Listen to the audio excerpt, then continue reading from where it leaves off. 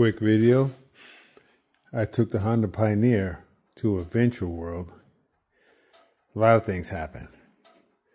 I went to uh, the expert side, and um, there was three of us, and one guy got stuck. We had to tow him out through through a mud hole, and then later on, I I went to mud hole. Uh, yeah, yeah, he had to pull me out. But then I went up this hill. This hill was crazy, and had you know trenches on the side. And this little piece right here that I bought, that my foot, that piece right there, my boot, because it's my boots. It's it's when I got off the gas, I I was still on the gas, and I was getting ready to put it in drive. It was still in reverse, and I I went backwards, and it, it was me and my wife in there, and we flipped over. It was crazy. Uh, we had to get two side by other side by sides with us to flip it back over.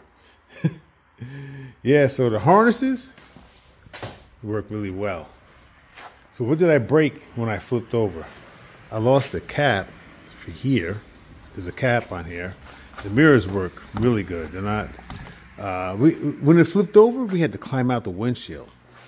It was crazy. Yeah, so I have a have to clean this up. It's nasty. yep, so just let you guys know.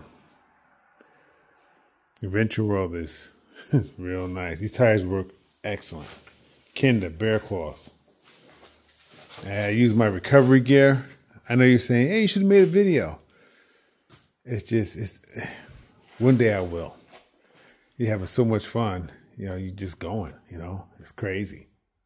Yep. So I flipped it on the side. Um, one guy put his his uh, his winch line here, and I used my winch line in the front, tied it to a tree with my my shackles, my recovery gear, and we put it back on its wheels. All right, guys, quick video I want to show you guys. All right, talk to you later. Oh yeah, and nothing fell off. The speaker, shovel, everything is right where it should be. All right, guys, talk to you later. I'm out of here.